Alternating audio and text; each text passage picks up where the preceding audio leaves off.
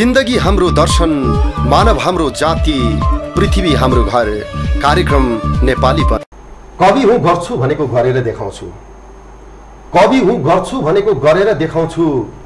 आकाशमा डेरा सरेर देखाउँछु। मृत्युले पनि चाल नपाउने गरी। मृत्युले पनि चाल नपाउने गरी मैले सुटुक्क मरेर देखाउँछु। कवि हुँ गर्छु भनेको गरेर देखाउँछु। आकाशमा डेरा सरेर देखाउँछु।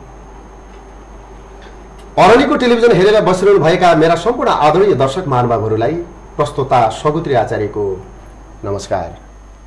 जिन्दगी हाम्रो दर्शन मानव हाम्रो जाति पृथ्वी हाम्रो घर भन्ने आदर्शलाई आत्मसात गर्दै हामी अरणीको टेलिभिजनबाट नेपालीपनको विमर्श प्रस्तुत गरिरहेका छौँ। आजको नेपालीपनको विमर्श अघिल्ला श्रृङ्खलाहरूभन्दा केही भिन्न छ। भिन्न यो अर्थमा छ कि हामी आज माताहरूको बारेमा छलफल गर्दैछौँ। नेपाली समाजमा हाम्रो संस्कृतिभित्र धेरै माताहरूको उपस्थिति छ।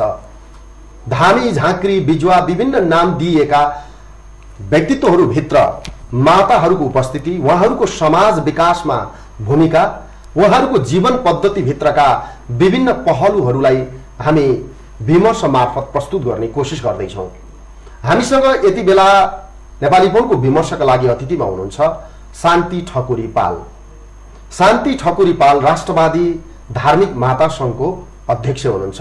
गत माघ अठाइस गते काठमाडौँको पशुपति स्थित उमाकुण्डमा राष्ट्रिय तहको एउटा सम्मेलन सम्पन्न भएको थियो।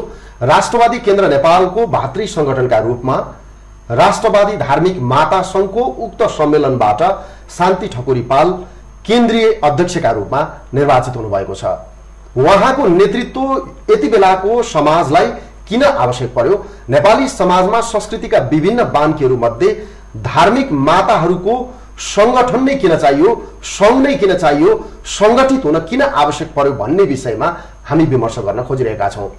आजको नेपालीपनको विमर्श मार्फत नेपाली संस्कृतिमा हिन्दू धर्मको उपस्थिति विकास र वर्तमानको समस्या र यसको समाधानका उपायको बारेमा पनि हामी केही गहिरिने प्रयास गर्नेछौँ। माताज्यू यहाँलाई नेपालीपन कार्यक्रम हार्दिक स्वागत छ। धन्यवाद हजुरलाई पनि। आराम हुनुहुन्छ? हजुर आराम। विषय यहाँको दैनिकीबाट सुरु गरौँ। दैनिकी कसरी चलिरहेको छ? एकजना महाकाली माताका रूपमा। दैनिकीमा अरूलाई खुसी दिएर नै खुसी मान्ने हुन्छन् माताहरू। त्यसैले माताहरू चाहिँ उपचार गरेर अरूलाई सन्चो बनाएर अरूको दुःख सुखमा साथ दिएर यसरी नै चल्छ। भनेको दुनियाँको जीवन राम्रो होस्। हजुर। जीवन पद्धतिका समस्याहरूको चाँडै समाधान होस् भन्ने मनोकामना गर्नुहुन्छ। एउटा डक्टरको भूमिकामा पनि हुनुहुन्छ। धामीले त बिरामीहरूलाई निको बनाउने। बिरामीहरू धामी कहाँ आउने को- कोही ढोल ढ्याङ्ग्रो ठोकेर अब खरानी फुकेर चामल फुकेर अरू विभिन्न तरिकाले जडीबुटी दिएर विभिन्न तरिकाले बिरामीको उपचार गर्ने गरिन्छ। तपाईँको पद्धतिमा चाहिँ के के कुराहरू पर्छन्? मेरोमा सबभन्दा पहिला त भगवतीको उच्चारण मन्त्र शक्ति नै पर्छ। र त्यसभन्दा पछाडि केही जडीबुटीहरू पनि पर्छन्। र जति आउनुभएका बिरामीहरूलाई बिरामी हेरेर बिरामी कुन खालको बिरामी हुनुहुन्छ? यदि हामीले गर्न मिल्ने खालको हुनुहुन्न कुनै शारीरिक चोटपटक छ उहाँलाई रगत बगेको अथवा कुनै हड्डी भाँचिएको भने त्यो तत्काल हामीसँग गर्नको लागि मन्त्रले काम गर्दैन तर पनि हामी भगवतीसँग प्रार्थना गरेर उहाँलाई डाक्टरकोमा पठाइदिन्छौँ। र जुन हामीले गर्न मिल्ने खालको हुन्छ त्यो चाहिँ हामी आफै गर्छौँ। भनेको आजका माताहरू चाहिँ एउटा आधुनिकताको प्रक्रियामा विज्ञान र प्रविधिसँगै अगाडि बढ्नु भएको छ तपाईँहरूले पनि भगवती मातालाई कामना गर्दै भगवती मातासँग अनुरोध गर्दै। बिरामीलाई चाँडै सन्चो होस् भनेर जो मनोकाङ्क्षा तपाईँहरूले अगाडि बढाउनुहुन्छ मन्त्र मार्फत उहाँहरूको कामना गर्नुहुन्छ स्वास्थ्य लाभको कामना गर्नुहुन्छ। त्यसमा औषधि मूलो भनेको जडीबुटीको माध्यमबाट हुने गर्छ। त्यसपछि आफूले यदि त्यसलाई कम्प्लिट गर्न सकिन्न अथवा बिरामीलाई सन्चो बनाउन सकिँदैन भने अस्पताल पठाउने सम्मको तपाईँहरू आफैले प्रयास गर्नुहुन्छ। भनेपछि यो अस्पतालसँग अब हाम्रो माताहरूको दैनिकी जोडियो भनेर बुझ्दा हुन्छ। त्यो पनि हो। बुझ्दा हुन्छ। किन भन्दा अस्पताल लान पर्ने बिरामी छन् भने हामी अस्पताल पठाउँछौँ भने अस्पतालका डाक्टरहरू पनि कतिपय हामीमा आउनुहुन्छ। डक्टरहरू पनि आउनु भएको छ? हजुर आउनु भएको छ। त्यस्तो कसैको नाम लिन मिल्छ? को हुनुहुन्छ? नाम भन्दा उहाँलाई अप्ठ्यारो पर्छ कि भन्ने अब खास अप्ठ्यारो पर्दैन। भएको घटनालाई बाँड्नलाई चाहिँ के गाह्रो भएर? डाक्टर राजन नेउपाने पनि आउनुभएको छ। कुन अस्पतालको डक्टर हुनुहुन्छ? सुरुमा सुमेरु अस्पतालको हुनुहुन्थ्यो। सुमेरु अस्पतालको डाक्टर राजन नेउपाने पनि आउनुभएको छ। तपाईँ कहाँ उपचारको लागि आउनुभयो? हजुर र नाम नबताउने डाक्टर धेरैजना अरू पनि आउनुभएको छ। अरू पनि आउनुभएको छ। हजुर। भनेपछि डक्टरहरू बिरामीको उपचार अस्पतालमा गरिराख्नु भएको छ। तर आफू बिरामी हुँदा चाहिँ माताहरूसँग गइराख्नु भएको छ। हजुर। यसरी हस्पिटल छोडेर तपाईँहरूसँग आउनुको कारण चाहिँ के पाउनुहुन्छ तपाईँ? यो एउटा संसारै विचित्रको छ कि देखिने खालको रोग एउटा हुन्छ नदेखिने खालको पनि हुन्छ। जुन चिज हामी आँखाले देख्छौँ र आँखाले नदेख्ने खालको चिजहरू हुन्छन् जुन जो हस्पिटलको डाक्टरको औषधिले छुँदैन त्यो डाक्टरको रिपोर्टमा केही पनि आउँदैन त्यो भनेको एउटा मन्त्र शक्तिद्वारा नै समाधान हुन्छ। त्यसैले उहाँहरू पनि भगवान्प्रति आस्था राख्ने विश्वास गर्ने हुन गएकोले उहाँहरू पनि हामी भगवान्प्रति विश्वास राख्न भनेर आउनुहुन्छ। भगवानमा भरोसा गर्नेहरू चाहिँ तपाईँसम्म आइपुग्नुहुन्छ। आइपुग्नुहुन्छ। भगवानहरूको जिम्मा चाहिँ माताहरूको मात्रै हो। भगवान्हरूको जिम्मा भनेको चाहिँ सुरमुनिदेखि भुसुनैसम्म प्रभु नै छन् सबका घटबाटम्म। त्यसैले हरेकका कणमा हरेक प्राणीमा हरेक जीवमा हुनुहुन्छ भगवान्। तर जो चैतन्य छ उसले भगवान्लाई बुझ्छ। भनेको हरेक मान्छेमा त्यो भगवानको शक्ति छ भगवानको अदृश्य उपस्थिति छ। हजुर। तर चिन्न सक्नेले चैतन्य भएकोले त्यो भगवानलाई देख्छ हजुर। र नभएकोले देख्दैन। खास तपाईँले परिभाषित गर्ने भगवान चाहिँ के हो? मैले परिभाषित गर्ने भगवान् भनेको चाहिँ मैले शिवशङ्कर भोले बाबालाई गर्छु अम्बे भगवती आदिशक्ति जगतजननी भगवती मातालाई गर्छु। र यी माता भनेको मन्त्र रूपिणी पनि हुन्। यी हरेकका कण कणमा बस्ने हरेकलाई महसुस गराउनुहुन्छ बार बार हामीले महसुस गर्न सकेका छौँ कि छैनौँ त्यो आफूमा भर पर्छ। तपाईँले महाकाली माता भनेर आफूलाई परिचित चाहिँ कसरी गराउनु भयो माता महाकालीको उग्र रूपको दर्शन पाएकी छु पहिला सुरुमा। र माता महाकालीको ऊर्जा नै शिरमा बस्न आएकोले गर्दाखेरि महाकालीको नाम हुँ महाकाली माताको ऊर्जा तपाईँको शिरमा आएको महसुस चाहिँ कसरी भयो त सुरुका दिनहरूमा? जब म सानै थिएँ. धेरै घटना छ. जब म सानै थिएँ एउटा निम्न वर्गको गरिबी अवस्थाकी छोरी हुँ। र गाई चराउने गोठाली थिएँ। त्यो बेलामा म गाई चराउन गएको बेलामा यो माई खोला कन्काई माई हजुरलाई पनि थाहा हुनुपर्छ सबैलाई थाहा छ। कन्काई माई भगवतीमा म गाई चराउन गएको थिएँ तल ट्याक्रा भन्ने ठाउँमा। कहिले पानी पर्ने कहिले घाम लाग्ने गर्छ एक एकछिनमा। यो घटना कति सालको हो? म सात वर्षको हुँदाखेरिको कुरा हो र म अट्ठाइस सालको मान्छे। भनेपछि लगभग पैँतिस छत्तिस सालतिरको कुरा। हजुर। र त्यो इन्द्रेणी लाग्छ। पानी पनि परेको बेला घाम पनि लाग्दै गरेको बेलामा। त्यो मलाई इन्द्रेणी लागेको मात्रै थाहा छ। साउनको महिना छ। र त्यहाँ चाहिँ गाई चराउनु गएको बेलामा इन्द्रेणी लाग्यो मलाई अँध्यारो अँध्यारो भयो। मैले केही पनि थाहा पाइनँ। त्यसपछि मलाई एकैचोटि उता लानु भएछ। र उता लगेपछि यो जस्तै सुतेको बेला सपना देखिन्छ। त्यस्तै सपना देखेँ मैले र म त्यो खोलै खोला त्यत्रो ठुलो उर्लेको खोला छ पुल धेरै पाथी छ ट्याक्रा भन्ने ठाउँ भनेको निकै तल छ। त्यो खोलै खोला पारिपट्टि गइछु। त्यो पारिपट्टि भनेको चाहिँ यताबाट जाँदाखेरि चाहिँ वारी पर्छ। चिलागढ भन्ने ठाउँ छ। त्यहाँ चिलागढ पोखरी भन्छौँ। त्यहाँ चाहिँ माताहरू बस्नुहुन्थ्यो। ठुल्ठुला जटावाली माताहरू बस्नुहुन्थ्यो। जुन बिरामी रोगीहरू मानसिक रोग भएकाहरू राँची लगेर निको नभएका रोगीहरूलाई त्यो चिलागढ भन्ने ठाउँमा ल्याएर उपचार गरिन्थ्यो। अँ, बहुलाका मान्छेहरू निका हुन्थे त्यहाँनिर। र त्यहाँ गएर मलाई माताजीले त्यहाँ राख्नु भएछ त्यो मलाई त्यहाँ गएको थाहा छैन। तर पछि सत्ताइस दिनपछि थाहा छ मलाई।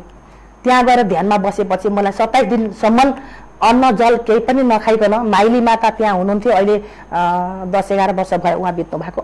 अरू माताहरू अझै पनि हुनुहुन्छ। र त्यो ठाउँमा बसेर सिद्धि प्राप्त गरेको मैले। र त्यहाँ मैले दर्शन पाएको छु साक्षात् भगवती माताको। र शरीर सास फेरिरहेको हुन्छ आफ्नो गतिमा मन्द गतिले भने। त्यो म भन्ने तत्त्वलाई उहाँले लिएर गएर मन्त्र सिकाउनुहुन्छ। र उहाँले यो गर यो नगर यहाँदेखि यसो गर भन्दै सुरुमा गणेशको देखाउनु भयो गणेशको मन्त्र सिकाउनु भयो त्यसपछि लगेर दाहिनेपट्टि भगवान्हरू हुनुहुन्छ दायाँपट्टि भगवतीहरू हुनुहुन्छ। यो भगवतीको यो मन्त्र भन्दै भन्दै उहाँले लिएर जानुभयो। र जहाँ अन्तिममा पुगेर महाकालीको उग्र रूपको दर्शन गराउनु भयो।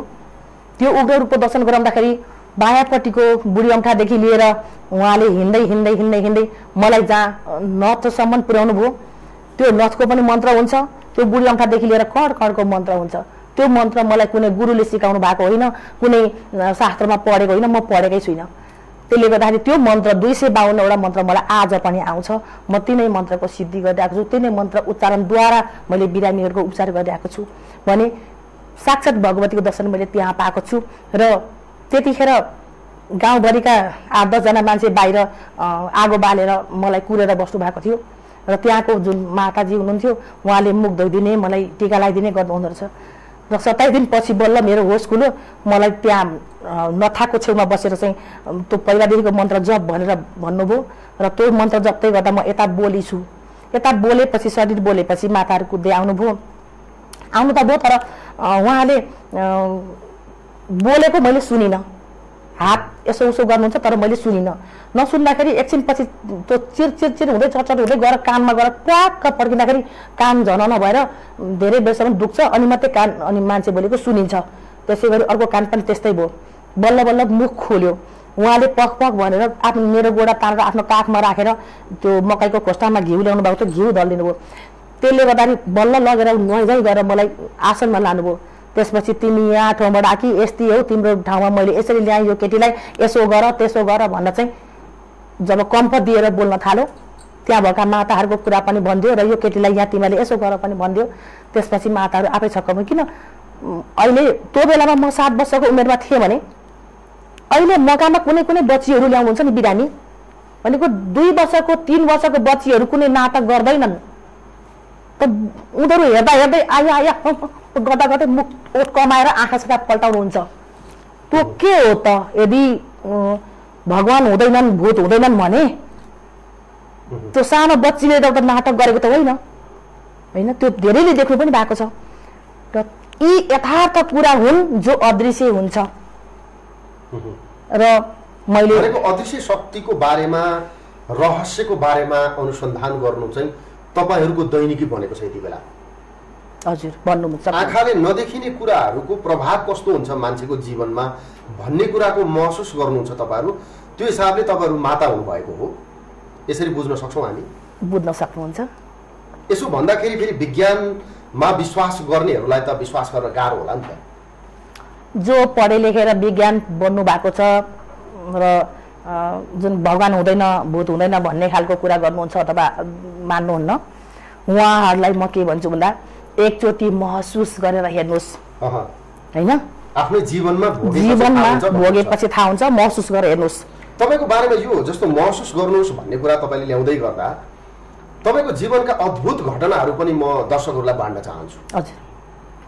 तपाईँ त्यो नरपिसाच खेलाउने प्रकारको माता पनि हुनुहुन्छ।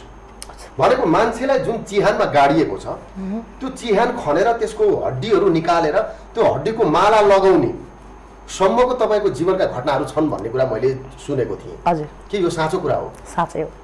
त्यो चिहान किन खन्नु भएको त्यो मान्छेको हड्डी निकालेर त्यसलाई माला बनाएर किन लगाएको? त्यसमा त्यो समाएर त्यो खेलाएर मन्त्र उच्चारण किन गरेको? के हुन्छ भन्दाखेरि जब भगवान् हुन्छन् भगवान्का अगाडि पछाडि भूत पिसाच साँच्चै हुन्छन्। त्यसले गर्दाखेरि भगवान्का अगाडि पछाडि भगवान्का गढ हुन्छन्।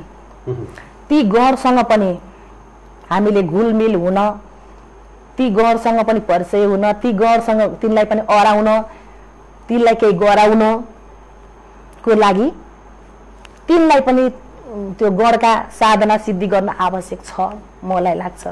भगवानको गण हुन्छ भन्नुको अर्थ चाहिँ तपाईँको त्यो गण भन्ने शब्दमा सुरक्षाको लागि वरिपरि मान्छेहरू हुन्छन् अथवा वरिपरि केही हुन्छ। भगवानको सुरक्षाको लागि।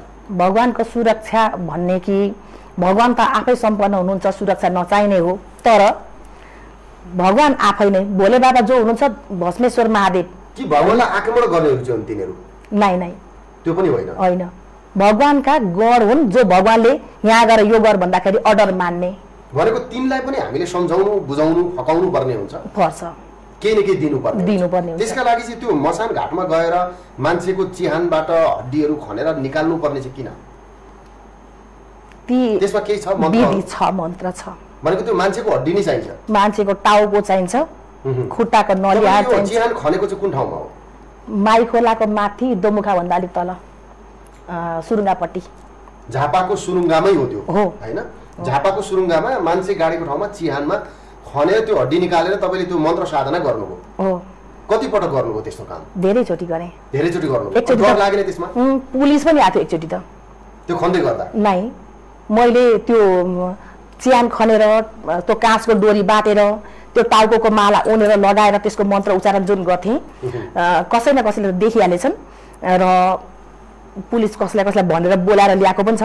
मैले त्यो चाहिँ अर्थात् बालुवा खनेर बालुवामा गाडी सकेका थिएँ। सुने हाले कुनै साथीहरूले। अनि तैँले यसो गरेको थिएछ अरे पुलिसहरू आएको छ। त्यसपछि जो पुलिसहरू आएर सोधखोज गर्दा अनि सँगै छिमेकी बुवा हुनुहुन्थ्यो एकजना। उहाँले के भन्नु यति सानो बच्चाले कहाँ खन्छ अब त खोलाले बगाउँदै कतिवटा टाउका ल्यायो होला गोल खेली होला होइन? अब टाउको भनेर थाहा पाएर पनि गोल खेली होला त खेली होला त अब। खोलाले बगाएर ल्याएको होला चियान बगाएपछि त होइन? भनेर चाहिँ बुवाले भनिदिनु भयो त्यसपछि उहाँहरू फर्केर जानुभयो। अनि मलाई डर लाग्यो पुलिसहरूले पनि मलाई केही पो गर्ने हुन् कि? तैँले मान्छे मारिस भन्ने हुन् कि? त्यो गाडेको कति वर्षदेखिको टाउको त्यो खोलाले पनि खनेर ल्याउँथ्यो। त्यसले गर्दा ती कुराहरू सिद्धि गर्न आवश्यक भएको भएर त्यो मलाई अरू कसैले मान्छेले अराएको पनि होइन। भनेको त्यो महाकाली माता तपाईँ बन्ने प्रक्रियामा हुनुहुन्थ्यो त्यति बेला। हो। त्यसका लागि आवश्यक पर्यो। आवश्यक पर्यो। एक खालको त्यो ध्यान अब सत्ताइस दिनसम्म तपाईँ आँखा चिम्लेर केही नखाइकन बस्दाखेरि अब हामी सामान्य मान्छे त फेरि मृत्यु हुनसक्छ नि त। हामीलाई त बाँच्नै गाह्रो होला सत्ताइस दिनसम्म। मान्छे नखाइकन एक्काइस बाइस दिनसम्म मात्रै बाँच्छ भनिन्छ। तपाईँ सत्ताइस दिनसम्म त्यसरी बसेँ भन्नुभयो। त्यो बेला चाहिँ बाँचिन्छ कसरी त? त्यो केले बचाउँछ? कसरी सम्भव हुन्छ त्यो कुरा? जसरी आमाको गर्भमा नौ महिनासम्म कसरी भाँचिन्छ मुख त बन्द हुन्छ केही पनि खाइँदैन होइन? त्यसै गरी त्यो अमृत प्राप्त हुन्छ जब भगवान्को ध्यान लागिसकेपछि। भगवान्मा ध्यान लाग्छ भगवान्ले लानुहुन्छ। त्यो बेलामा सूक्ष्म शरीर त रहन्छ सास मन्द गतिले आफ्नो तरिकाले चल्छ। त्यो कसैले हल्लाएर हल्लिँदैन छिटो छिटो सास चल्दैन कसैले बोलाएर बोल्दैन थाहा हुँदैन यता। जो म भन्ने तत्त्व हुन्छ त्यो म भन्ने तत्त्व त भगवान्मा लिन भइरहेको हुन्छ। त्यो तपाईँले आफू साधना गरेर एकजना माता बन्ने प्रक्रियाको कुरा मात्रै हो नि। अहिले त त्यो आवश्यक छैन नि त। अहिले आवश्यक छैन। जस्तो अहिले त चिहान खन्न पनि आवश्यक छैन। त्यो मान्छेका हड्डीहरू केही पनि जरुरी छैन नि। राख्नु भएको छ घरमा? छैन, होला सायद। त्यो त्यति बेला उहाँ साधना गरी सक्यो। त्यसपछि सक्यो नि। माता हुनुभन्दा अगाडिको कुरा भयो। माता हुँदै गर्दाखेरिको हुँदै गर्दा। सिद्धि गर्न पर्यो सिद्धि गर्ने भनिन्छ त्यसलाई। हजुर। माताहरू चाहिँ सबै एकै खालका हुनुहुन्छ कि फरक फरक तरिकाले आउनुहुन्छ? यसो हुन्छ। कोही माताले कति सिद्धि गर्नु भएको हुन्छ। आफूले ऊर्जा पाएर पनि पढ्न पाएको छ तर कतिवटा किताब पढेको छ कति पढेको छ कति मेहनत गरेको छ त्यसमा भर पर्छ। होइन? ऊर्जा त एउटै हो। तर कतिसम्म सिद्धि गर्न सकेका छ? कति माला जप गरेको छ? त्यसमा भर पर्छ।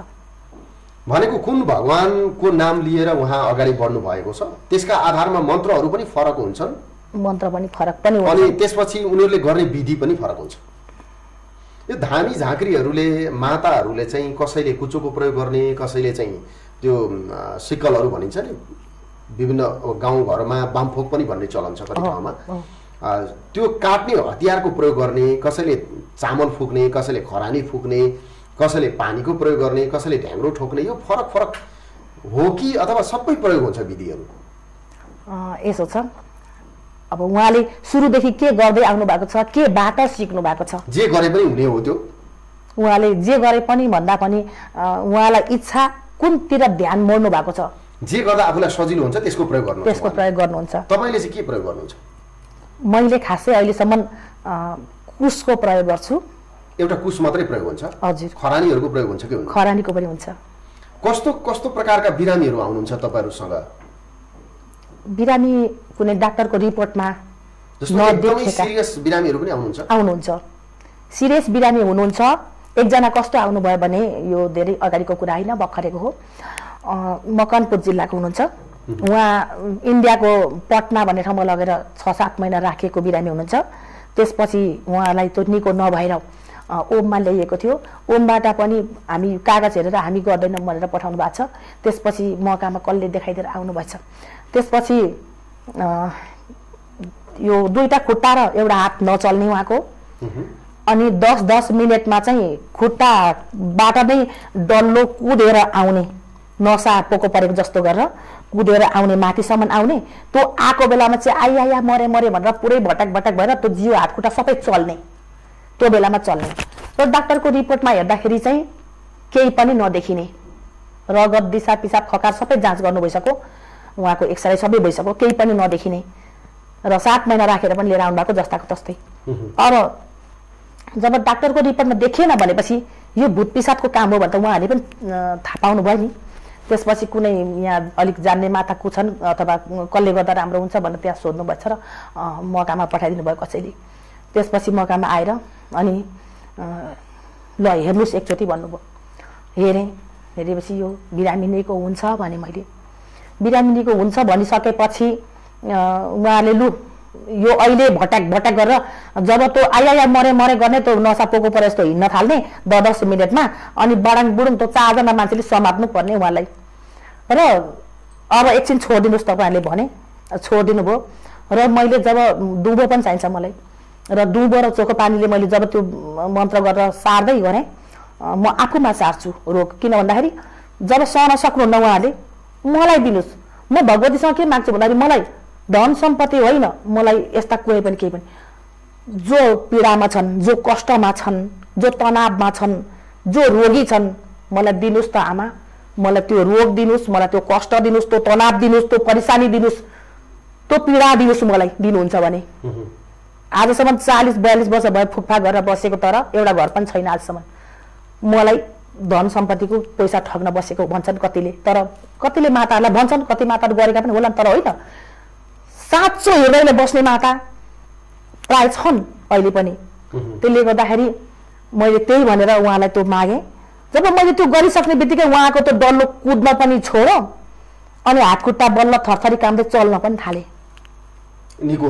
र उहाँले भन्नुभयो उहाँको श्रीमानले त के भन्नुभयो भने तपाईँलाई म दुई लाख रुपियाँ बक्सिस दिन्छु यो निको पारेर देखाउनुहोस् भन्नुभयो।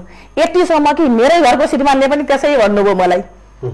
अरू बिरामी त थुप्रै निको पारेछ तर यो चाहिँ एउटा बिरामी चाहिँ निको पार भन्नु किनभने डोकामा बोकेर ल्याउनु भएको थियो उहाँले। त्यसले गर्दा यो निको पारेर देखाउ भन्नुभयो। मैले निको पार्ने होइन। आमा अम्बे भगवतीले भोले शिवशङ्करले निको पार्ने हुन्। कालका महाकाल पनि उनै हुन्। देवौँका महादेव पनि उनै हुन्। आदिशक्ति जगजनी भगवती उनै हुन्। र उहाँले नै पार्नुहुन्छ। यदि मैले साँचो भक्ति गरेको छु हजुरको भने आमा निको पार्नुहोस् भनेर उहाँको मन्त्र उच्चारण गरेँ। मैले उहाँलाई जडीबुटी पनि खुवाएको होइन। तर उहाँ निको भएर भोलिपल्टबाट बिस्तारै हिँड्नुभयो। तिन दिन म कहाँ राखेर निको पारा लिएर जानु भएको छ। डोकामा ल्याएको मान्छे हिँडेर जानुभयो। अहिले? हुनुहुन्छ तर अहिले मेरो कन्ट्याक्टमा हुनुहुन्न उहाँ। र अर्को एकजना चाहिँ एउटा बच्ची। आठ कक्षामा पढ्ने। ती बच्ची त्यो आफ्नै हात टोक्ने। अलिअलि रगत आउँछ चाट्ने। आफ्नै मम्मीको पनि टोकेर खाइदिने। वा गरेपछि टोकेर खाइदिने। अनि सबैले पछाडि हात बान्ने गरे लुगाले हात बान्ने गरे। अनि त्यसपछि बाँधेर कहाँबाट मकामा ल्याउनु भएको छ। अनि मलाई देख्ने बित्तिकै आ गर्नुभयो। मलाई छोडिदिनुहोस् छोड मैले छोडिदिनुहोस् भने। होइन टोकिहाल्छ नि भन्नुभयो। छोडिदिनुहोस् भने।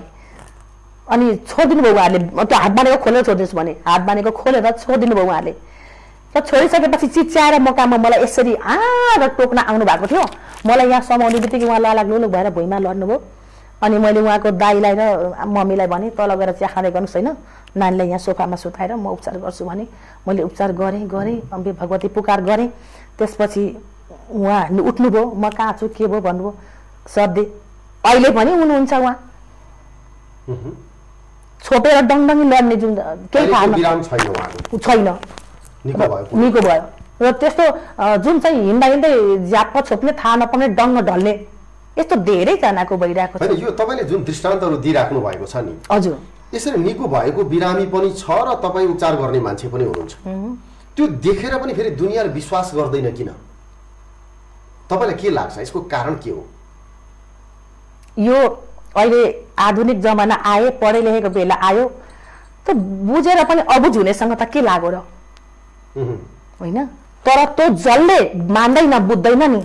आफूलाई पढेपछि मात्रै मान्दो रहेछ। त्यो मैले जाने। अनि अर्को कुरा चाहिँ देखेर मात्रै अर्काको देखेर मलाई परेको छैन किनभने भने जस्तो हिसाबले पनि एकतिर त देखाएर अनदेखा गरेको हो मेरो विचारमा। तर त्यो अनदेखा गर्ने मान्छेले पनि भित्रभित्र काहीँ जाने बेलामा पनि हे भगवान् म फल्ना ठाउँमा जाँदैछु। मेरो काम सिद्ध होस् त मन मनले त भन्छ नै। सबैले भनिराखेका हुन्छन्। हो। कतिपय मान्छेले त्यो नभन्लान् पनि होइन? नभन्नेहरू पनि होलान्। तर अधिकांश मान्छेले भगवान्को नाम त लिएकै हुन्छ। कसैले देखेर पूजा गर्छ कसैले लुकेर पूजा गर्छ। फरक यति हो। हजुर। कसैले देख्ने गरी मन्त्र उच्चारण गर्छ कसैले चाहिँ मन मनमा गर्छ। यही फरक हो होइन? अब अलिकति समदूरीको कुरा अथवा टाढा र नजिकको कुरा गरौँ न। सद्भाव अथवा सम्मान र घृणाको कुरा। तपाईँलाई आँखा चिम्लेर सम्मान गर्नेहरूले चाहिँ तपाईँको कुन पक्षको सम्मान गर्दा रहेछन्?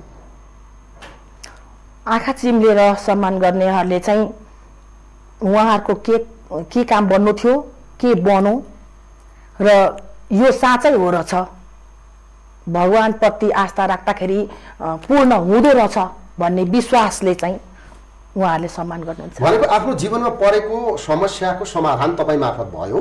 भयो। भने त्यो अवस्थामा चाहिँ विश्वास भयो उहाँलाई। मलाई होस् या कसैको पनि। भगवान् भरोसा गरेर होइन कि? घटनामै आधारित भएर तपाईँलाई सम्मान गर्छन्। जब आफूलाई पर्छ अनि मात्रै ठोस हो रहेछ भन्ने त्यहाँनिर चाहिँ भित्रैबाट विश्वास लाग्छ। त्यसपछि बल्ल सम्मान गर्छन्। हजुर। तपाईँहरूलाई जस्तो माताहरूलाई घृणा गर्नेहरूले चाहिँ किन घृणा गर्छन्? सायद उहाँले भित्रैबाट नचिन्नु भएर होला। नजानेर हो। नजानेर होला। अज्ञानीहरूले घृणा गरे भने त तिनलाई क्षमा पनि त दिन सकिएला नि। हजुर। मान्छेको सबैभन्दा महत्त्वपूर्ण सबैले सम्झनु पर्ने गुण चाहिँ के हो? सम्झाउनु पर्ने सबैले जुन गुण हो त्यो गुण भनेको एउटा चेतना हो त्यो भगवान् मार्फत नै आएको हो जुन एउटा पशुलाई त्यो चेतना आउँदैन त्यो सिर्फ मान्छेलाई मात्रै भनेको मानवीय चेतना भन्नाले के के कुराहरू पर्छन् त्यसमा? जस्तै तपाईँलाई मैले कुनै चस्स नराम्रो वचन लगायो भने चित्त दुख्छ। महसुस गर्न सक्नुहुन्छ। कसैको माया लाग्ला। अथवा कसैप्रति घृणा होला? घृणा होला? कसैप्रति माया होला? रिस उठ्ला। त्यो चेतना मान्छेमा छ। भनेको घृणा गर्ने चेतना पनि मान्छेमा छ र प्रेम गर्ने चेतना पनि मान्छेमा छ। त्यसलाई चिन्न सक्नु पर्यो। हजुर। भनेको आत्मिक पक्षलाई चिन्नु भनेको चाहिँ माता हुनु हो। यसरी बुझ्न सकिन्छ? माताले मात्रै बुझ्छन् होइन। धेरैले बुझ्न सक्छन् तर त्यता फर्किनु पर्यो। हजुर। यसैमा म अर्को जिज्ञासा पनि राखिहालौँ। हजुर। यदि मान्छे सबै भगवान्कै सन्तान भए कोही मान्छेलाई माता हुने क्षमता दिने कोही मान्छेलाई चाहिँ फेरि मातालाई नै घृणा गर्ने क्षमता दिने किन? सबै एउटै हुनुपर्ने नि त। सबैले प्रेम नै सद्भाव नै बाँडे हुन्थ्यो होला नि। भगवान्ले क्षमता सबैलाई दिनुभएको छ बुद्धि सत्बुद्धि दुईटा छन्। बुद्धि दिनुभएको छ सत्बुद्धि पनि त्यो खोज्नुपर्छ आफूले। भनेको चिन्न सकेन मान्छे चिन्न सकेन। चिन्न सक्यो भने हरेक नारी चाहिँ माता हुन सक्ने क्षमता हुन्छ? भनेकै छ। विद्याम समस्तास्तव देवी भेदाम स्त्रियाम समस्ता सकला जगतसु। पुरै सम्भव छ तर खोज्नु पर्यो। खोज्नु पर्यो। यो सँगै अर्को पनि सँगसँगै जोडिहालौँ। यो माघ अठाइस गते पशुपतिमा जुन सम्मेलन भयो तपाईँहरूको। हजुर हजुर। राष्ट्रवादी धार्मिक माता सङ्घको केन्द्रीय सम्मेलन। पहिलो सम्मेलन थियो। राष्ट्रवादी केन्द्र नेपालको भातृ सङ्गठन निर्माण गर्ने प्रक्रियामा। हजुर। तपाईँ त्यसको अध्यक्ष भएर एक सय नौजना माताहरू सहितको एउटा केन्द्रीय कमिटी बन्यो। त्यो केन्द्रीय कमिटीको अध्यक्ष तपाईँ हुनुभयो। यो सम्मेलनको परिकल्पना कसरी गर्नुभयो तपाईँहरूले र किन गर्नुभयो? नगरी नहुने अवस्था नै आयो। त्यस्तो के कारण छ र यो बनाउनै पर्ने? नेपाल हाम्रो सीता जस्तो महालक्ष्मी जन्मिनु भएको देश गौतम बुद्ध जस्तो जन्मिनु भएको देश वेदको सुरुवात भएको देश यो हाम्रो हिन्दू राष्ट्र हुनुपर्छ। आज त्यो बेलामा वीर गोर्खाली भनेर चिनिने हाम्रो नेपाल आज कामदार नेपालीहरू भनेर चिनिरहेका छन्। त्यति मात्रै होइन। नेपाल यो काठमाडौँ ललितपुर भक्तपुर मात्रै छैन। नेपाल मेचीदेखि महाकालीसम्म छ। विकट ठाउँ छन् नेपालमा। ती विकट ठाउँमा बच्चाहरू कापी किन्न नसकेर पढ्नको लागि कापी किन्न नसकेर स्कुलबाट भागेर गाडीमा खलासी बस्न बाध्य छन् त्यो त आफ्नै देशमा थियो। अलिक ठुला भइसकेपछि पासपोर्ट बनाएर विदेश जान्छन्। अर्काको काम गर्न त्यहाँ पनि सुख शान्ति छैन। कोही बाक्सामा त्याग भएर आएका छन् कोही हात पाउ गुमाएर आएका छन्। ती मेरै सन्तान हुन्। यी साढे तिन करोड नेपालीका सन्तान जुन छन् ती मेरै सन्तान हुन्। त्यो मैले ठाने मेरो टिमले ठान्नुभयो। त्यसले गर्दाखेरि नेपालको संविधानमा लेखेको छ स्वास्थ्य र शिक्षा निशुल्क भनेर। कहाँनिर कार्यान्वयन छ त्यो? लागू भयो लागू भएन लागू हुन पर्यो नि। भनेको राष्ट्रवादी धार्मिक माता सङ्घको तर्फबाट तपाईँहरूले शिक्षा र स्वास्थ्यलाई नेपालमा निशुल्क बनाउने अभियान चलाउन अभियान? यो सम्मेलन गरेर यो टिम बनाउनु यो पनि हो अर्को पनि छ। जो बल्ल बल्ल आफ्नो बारीको पाटो धितो राखेर अथवा आमाको कामाको सुन बेचेर बल्ल बल्ल ब्याचलर पढाएका छन् मास्टर पढाएका छन् ती बच्चाहरूले पनि फेरि गएर कोरियन पढ्नुपर्ने जापानिज पढ्नुपर्ने अर्को कोनिके पढ्नुपर्ने अनि त्यो बाध्यता किन पर्छ यदि हाम्रो नेपालमा पढेकोले हुँदैन थियो कोरियनै पढ्नु पर्थ्यो जापानिसै पढ्नु पर्थ्यो भने पाँच कक्षाबाटै सुरु गर्न पर्थ्यो नि त किन त्यो फेरि ब्याचलर गरिसकेपछि फेरि अर्काको देशको भाषा पढ्नु पर्यो भनेको रोजगारीका लागि पनि तपाईँहरू आवाज उठाउनलाई यो एउटा। महिनाभरि काम गरेपछि महिनाभरि खान पुग्ने तलबको ग्यारेन्टी हुन पर्यो। त्यसो भएपछि भ्रष्टाचार हुँदैन। आमाले भन्छन् यत्रो दुःख गरेर पढाइ लेखाएँ छोरोले मलाई कमाएर पाल्ला भनेर पालेन। अब पाल्न पनि उसले कहाँबाट पालोस्? आफ्नै पेट भर्न नपुग्ने छ भने विदेश गएर कमाउनु पर्छ त्यो पनि गएको ऋण तिर्नै कति दुई वर्ष लाग्छ भने कसरी पालोस्? भनेको रोजगारीको ग्यारेन्टी हुनु पर्यो। हुन पर्यो। शिक्षा स्वास्थ्य निशुल्क हुनु पर्यो। र हाम्रो धर्म संस्कृतिको संरक्षण हुनु पर्यो भन्ने हिसाबले यो आवाज मुखरित गर्नलाई हिन्दू राष्ट्र कायम हुनु पर्यो।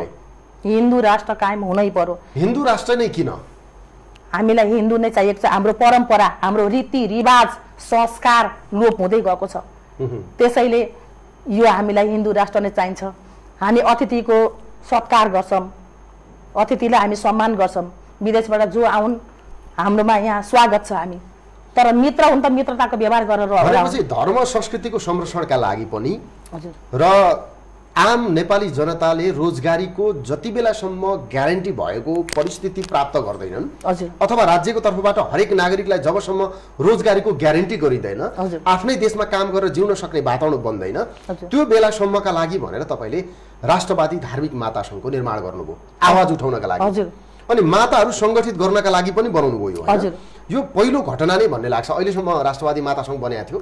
थिएन। माताहरू सङ्गठित भएको यो पहिलो घटना होला। हो। अहिले एक सय नौजना हुनुहुन्छ। हजारौँको सङ्ख्यामा देशभरि माताहरू हुनुहुन्छ। उहाँहरूलाई पनि सङ्गठित गर्नुहुन्छ कि अहिले यही कमिटी मात्रै रहने हो कि हो यो?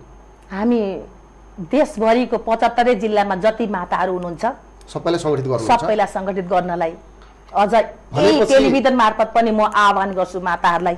आउनुहोस्। किनभने दुर्गा भगवतीले एक्लै दुर्गा भन्ने राक्षसको वध गर्नु भएको थिएन। दुर्गा भगवतीले शैलपुत्री ब्रह्मचारिणी हुँदै उहाँले प्रथमम शैलपुत्री च द्वितीयम ब्रह्मचारी तृतीयम चन्द घण्टेति कुष्मानिति चतुर्थकम पञ्चमम स्कन्द मातेति षष्ठम काटे नीति च सप्तमम कालरातिथि महागौरीति च अष्टमम नवमम सिद्धि दात्री च नवदुर्गा प्रकृति था जब नवदुर्गाको रूप धारण गर्नुभयो सबै भएर अनि मात्रै दुर्गा भन्ने राक्षसलाई मार्नुभयो होइन। धेरै महिषासुर राक्षसहरूको वध गर्नुभयो। त्यसैले हामीले यदि शक्ति प्राप्त गर्नु छ भने यी अम्बे भगवतीहरू जुन जुन कुनामा जब गरेर तप गरेर बस्नु भएको छ उहाँहरूलाई पनि म आह्वान गर्छु। यो राष्ट्रवादी धार्मिक माता सङ्घमा सङ्गठित हुनु सङ्गठित हुनुहोस्। आह्वान गर्नुहुन्छ।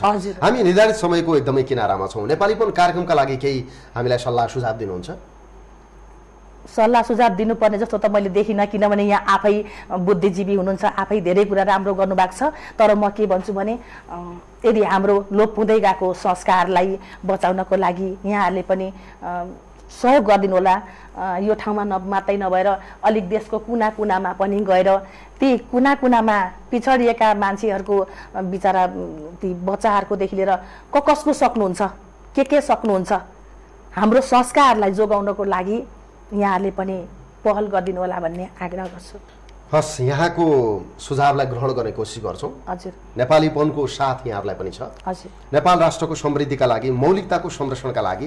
हामी सधैँ यहाँहरूको साथमै रहनेछौँ। हजुर। यो समय र संवादका लागि हामी आभार व्यक्त गर्छौँ। अरण्यको टेलिभिजन परिवारको तर्फबाट। हजुर। महत्त्वपूर्ण विचारहरू पनि राखिदिनु भएको छ। यहाँले यो माताहरूको अवस्थितिको बारेमा हामीले छोटोमा सबै कुरा त खोल्न सकेनौँ। सकिन्न पनि। आगामी श्रृङ्खलाहरूमा फेरि पनि छलफल गरौँला तर आज जति विषयहरू खुलासा भए तपाईँको जीवनमा माता बन्दाको जुन जटिलता अथवा त्यो एउटा कठोर साधनाको कुरा सत्ताइस दिनसम्म आँखा चिम्लेर केही पनि नखाइकन बसेको अनि त्यो पिसाचहरूको चाहिँ मसान खेलाउने मन्त्र उच्चारण गर्ने त्यो माता बन्नका लागि गरिने जो प्रक्रियाको बारेमा छलफल भयो। कतिपयको त आङ श्रृङ्ग पनि भयो होला भन्ने लाग्छ होइन? तर तपाईँले जस्ताको तस्तै खुलासा गर्नुभएको छ दर्शकहरूलाई ढाँट्नु भएको छैन इमानको वचन बोल्नु भएको छ यसप्रति पनि हामी नमन गर्छौँ। नेपालीपनको अर्को कुनै श्रृङ्खलामा फेरि पनि संवाद गरौँला। आज चाहिँ छुट्टिन्छौँ आस्था। आदरणीय दर्शकहरू आज हामीले महाकाली माता भनेर चिनिने शान्ति ठकुरी पालसँग नेपालीपनमा केन्द्रित रहेर विमर्श गऱ्यौँ। राष्ट्रवादी धार्मिक माता सङ्घको केन्द्रीय अध्यक्ष हुनुहुन्छ उहाँ। र उहाँको जीवन पद्धतिका बारेमा हामीले आज जे जे विषयहरू खुलासा गऱ्यौँ लाग्छ नेपाली संस्कारभित्र के छ नेपाली संस्कृतिमा कस्तो प्रकारका पहलहरू छन् र यिनीहरूको यति बेलाको वस्तुस्थिति कस्तो छ भन्ने बारेमा तपाईँहरूले धेरै कुरा अनुमान लगाउनु पाउनुभयो भन्ने हामीलाई विश्वास छ। नेपाली संस्कृतिको संरक्षणका लागि यसभित्रका नकारहरूलाई सकारमा बदल्ने कुसंस्कारलाई संस्कारमा बदल्ने र नेपाली मौलिकताको संरक्षण गर्ने यो हाम्रो विमर्शको अभियान जारी छ। अरेनको टेलिभिजन हेर्दै गर्नुहोला। भोलि यसै समय हामी अर्को विशिष्ट अतिथिका साथमा आउनेछौँ। अहिले चाहिँ बिदा हुन्छौँ। नमस्कार। जिन्दगी हाम्रो दर्शन मानव हाम्रो जाति पृथ्वी हाम्रो घर। कार्यक्रम नेपाली